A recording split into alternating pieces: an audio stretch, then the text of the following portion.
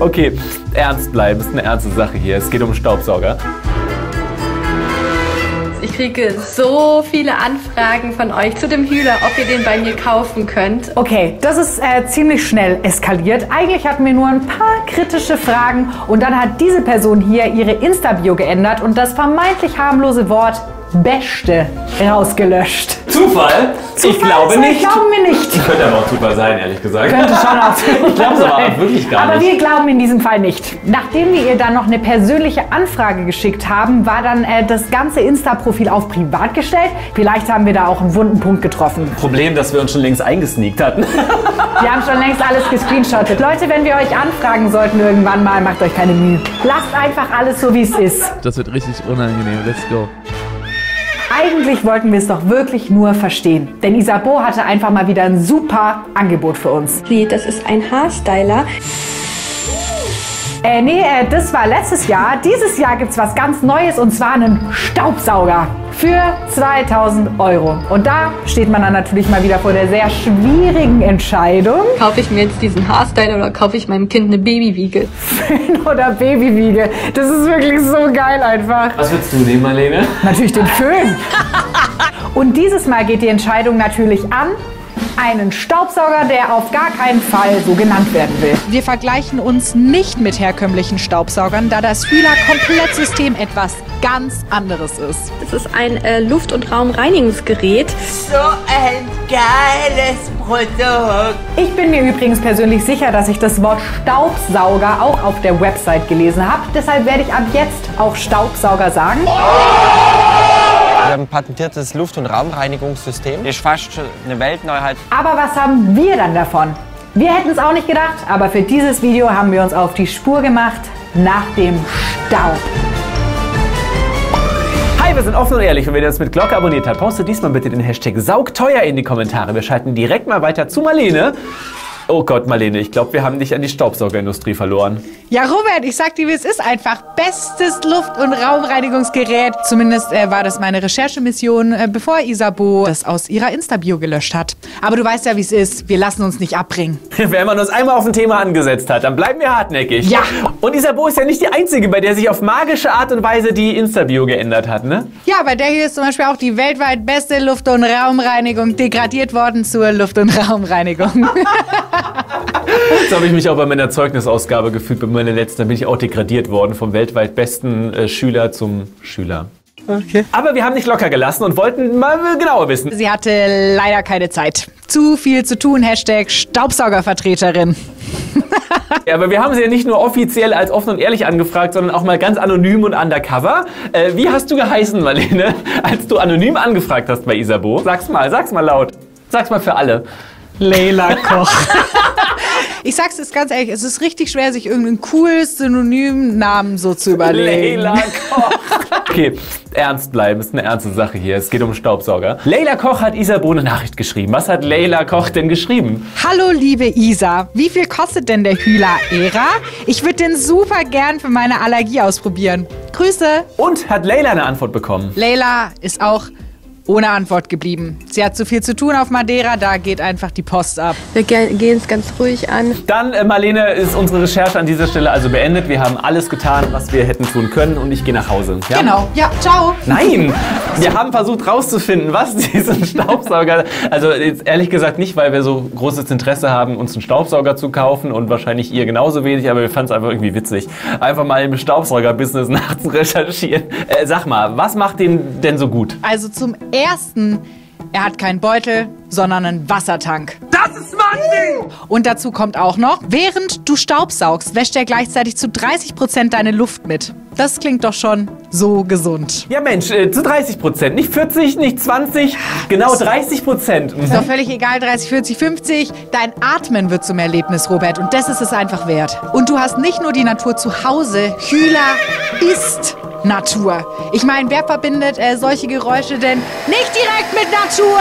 Okay, Prinzip der Natur. Dürfte ich dich an dieser Stelle einmal fragen, Marlene, warum jetzt genau?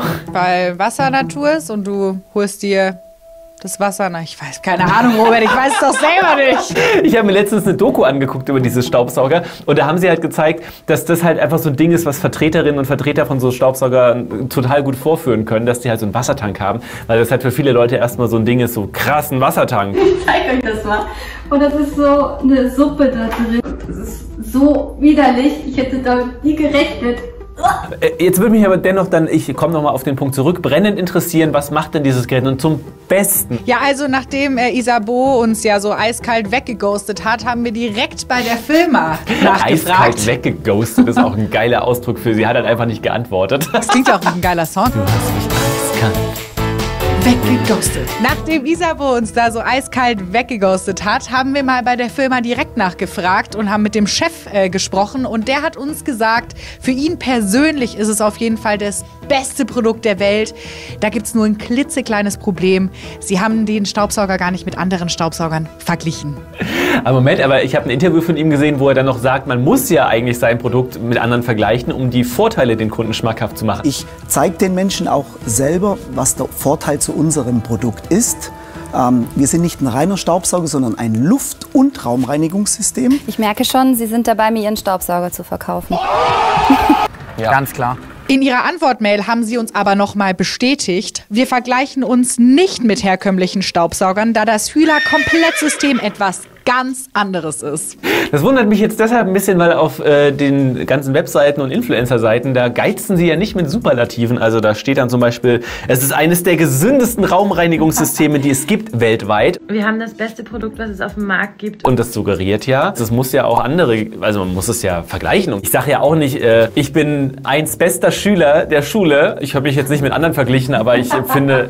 Was du hier immer für Sachen plötzlich aus deiner Schule sagt, erzählst. Zu der Aussage auf der Website äh, wollte uns die Firma noch ein Statement äh, schicken. Wir blenden das an dieser Stelle ein, präsentiert von Raphael. Wir haben Sie ja gefragt, wie so eine Aussage zustande kommen kann, wenn überhaupt keine Vergleichsstudien vorliegen. Und auf die Aussage gesündeste haben Sie uns jetzt nicht geantwortet. Aber vielleicht wollten Sie einfach nochmal klarstellen, dass Sie die geilsten sind. Fühler hat uns auf jeden Fall geantwortet. Im Bereich Separatorengeräte sind wir in Europa klarer Marktführer. Weltweit sind wir ein Bestandteil der besten zwei Geräte dieser Art. Beste zwei, meine Interpretation. Vielleicht sind Sie die zweitbesten eher. Also sonst würde man vielleicht sagen, wir sind das Beste. Aber wir wollen uns da nicht zu weit aus dem Fenster legen. Auf jeden Fall schreiben Sie weiter. Wir haben uns hier in den Vergleich zu anderen Separatorensystemen gestellt und aus den Stückzahlen heraus haben wir diese Aussage getroffen. Also aus dieser Aussage wäre ich nicht so wirklich schlau, weil ein Vergleich für die Leistung haben Sie uns jetzt nicht geschickt. Für uns klingt das so, als wenn Sie sagen, wir haben viel verkauft, deswegen sind wir gut. Das beste Produkt, was es auf dem Markt gibt. Und auch mit den Influencer-Aussagen haben wir sie mal konfrontiert. Ja, da äh, haben sie uns leider nichts schriftlich gegeben, aber sie haben uns am Telefon gesagt, äh, dass äh, solche Aussagen auf jeden Fall die ganz persönliche und ehrliche Meinung von diesen Influencern ist. Sie werden in Zukunft darauf achten, dass die Influencer dazu sagen, dass es ihre persönliche Meinung ist. So, der Vollständigkeit halber, weil wir nicht wieder Post vom Anwalt bekommen wollen, wollen wir auch nochmal sagen, was denn dieses Gerät äh, tatsächlich auszeichnet, was offenbar andere Geräte nicht können. Ähm, da hat uns ähm, die Staubsaugerfirma, die Multifunktions-Luftraumreinigungsgerätefirma, hat uns da ein paar Punkte geschickt. Marlene, ich würde dich jetzt bitten, das einfach einmal ähm, so ein bisschen, Oh, so, vielleicht mit so Home-Shopping-mäßig. Ich nehme nehm einfach meine Notizen und lese es ab. Das Ding filtert mit Wasser und zwar nur mit Wasser. Es ist ein Multifunktionsprodukt. Das, ist, kann, heißt, es kann viel.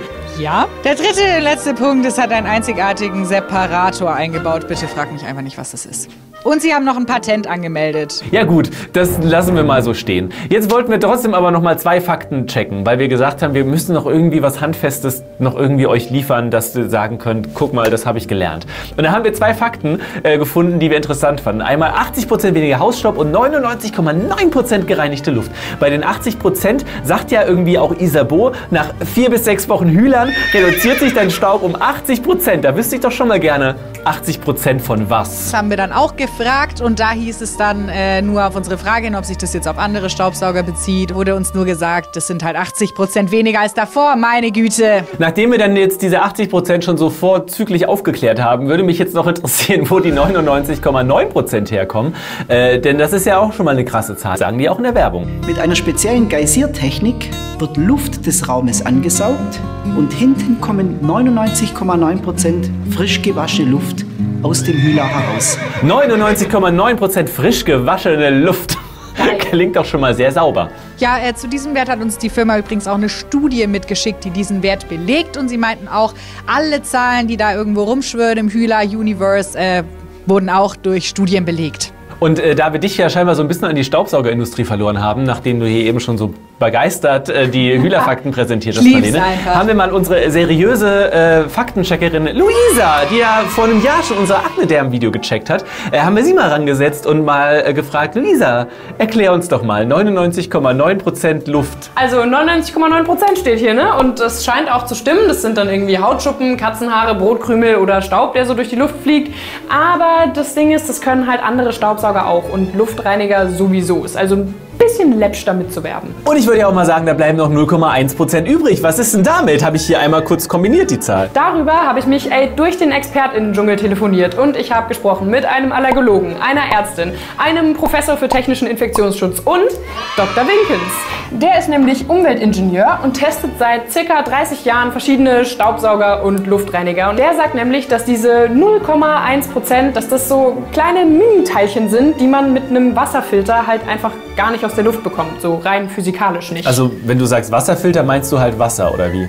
ja, also mit einem Filter, der halt einfach nur mit Wasser arbeitet. Wenn man nassabscheidend arbeitet, ist gerade bei den feinsten kleinen Partikeln ist die Abscheidung physikalisch irgendwann nicht mehr möglich. Damit haben wir Hühner mal konfrontiert. Äh, was habt ihr denn genau geschrieben, liebe Luisa? Unser Experte hat uns gesagt, dass Wasserfilter nur bis zu einem gewissen Grad Stoffe filtern können. Beispielsweise gibt es Stoffe, die nicht wasserlöslich sind und daher nicht im Wasser gebunden werden. Auch der Separator kommt laut unseres Experten irgendwann an die Grenzen der Physik, wenn die Teilchen zu klein werden. Er redet von der lungengängigen Fraktion PM1. PM1, das muss man wissen, ist ein ganz klitzekleines Teilchen. Und was hat die Firma darauf geantwortet? Die haben uns gesagt, Leute, vergesst mal PM1. Wir können sogar PM 0,1. Die sind noch zehnmal kleiner als die kleinsten Teilchen hier. Und pass auf, da haben die uns nämlich gesagt, natürlich gibt es Stoffe wie Arizona Wüstensand oder Wer hat da noch nicht Arizona Wüstensand in seinem... Wobei, man hat ja immer so diese Wetterlagen, wo dann so, so Wüstensand tatsächlich irgendwie ins Wohnzimmer rieselt. Natürlich gibt es Stoffe wie Arizona Wüstensand oder mineralische Stäube,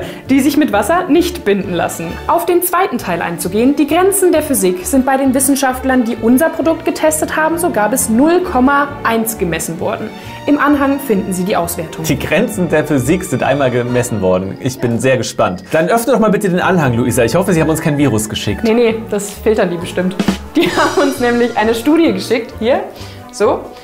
Bei dieser Studie handelt es sich um so eine virtuelle Simulation, aber da ist so, so ein kleines, aber feines Detail. Da drin steht nämlich folgendes. Aufgrund des Mangels an zusätzlichen Daten zur Filtrationseffizienz des Systems wird von einer idealen Leistung ausgegangen, was bedeutet, dass der gesamte vom Abscheider aufgefangene Staub entfernt wird und keine Partikel auf der Rückseite des Geräts wieder austreten. Das heißt also, äh, nochmal kurz übersetzt, für alle, die sich nicht seit zwei Monaten mit Staubsaugern äh, beschäftigen und ein bisschen wahnsinnig im Kopf geworden sind, dass sie jetzt einfach mal davon ausgehen, dass die Teilchen alle in den Staubsauger reingesaugt werden und dann auch da drin bleiben, was man aber wohl bei so kleinen Teilchen nicht automatisch sagen kann. Da geht halt auch wieder ein bisschen was raus in die Luft. Also das hat uns unser Experte auch nochmal so bestätigt. Diese Studie arbeitet quasi einfach nur damit, wie sich denn die Partikel dann verhalten würden, wenn die denn alle in dem Gerät blieben. Aber das heißt, wir sind aus dieser Studie jetzt halt nicht so richtig schlau geworden. Wir haben ja noch eine zweite Studie bekommen. Was ist die Aussage von dieser Studie? Die Studie sagt halt so ein bisschen, okay, bei den größeren Teilchen, also bei diesen hier, da schneidet die eigentlich ganz gut ab. Da schaffen die äh, 99,9997 Prozent.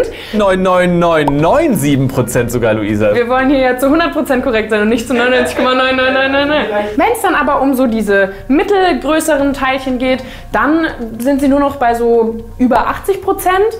Und wenn es dann aber um die kleinen hier geht, ja, da steht dann halt einfach mal leider gar nichts mehr im Fazit drin. Okay, Luisa, unsere Recherchemission war es ja herauszufinden, warum dieses Gerät das beste Gerät ist, also zumindest laut Meinung von Isabeau, laut ihrer privatpersönlichen Meinung. Haben wir das rausgefunden? Naja, wir haben auf jeden Fall rausgefunden, er wird richtig viel verkauft. Und laut der Firma sind die Kunden auch supi zufrieden. Robert, was willst du mehr? Und Isabeau findet ihn halt auch klasse, aber das ist ja jetzt ihre ganz persönliche Meinung. Beziehungsweise es war ihre äh, persönliche Meinung. Ist ja jetzt weg, ne? Was? Robert? Äh, ja, Robert? Marlene? Hier kommt gerade Breaking News rein. Ja, bitte. Isabeau hat schon wieder einen neuen Staubsauger für sich entdeckt. Ist einfach eine dicke Empfehlung. Es ist so eine große Unterstützung im Haushalt und wir lieben unseren kleinen Robby. Er, er saugt und wischt. Hey Marlene, du hast doch auch einen kleinen Hobby. Ja, ich hab dich, Robert. Du bist mein kleiner, kleiner Robby. Möchtest du denn jetzt abschließend noch unsere Katze ansagen, liebe Ja, sehr, sehr gerne. Hier kommt noch eine äh, ganz süße Katze. Außerdem äh, ein Video vom Y-Kollektiv. Die haben das Schneeballsystem in WhatsApp-Gruppen genauer unter die Lupe genommen. Und unser erstes Video zu Isabeau, da hatte sie nämlich einen Fake-Shop beworben.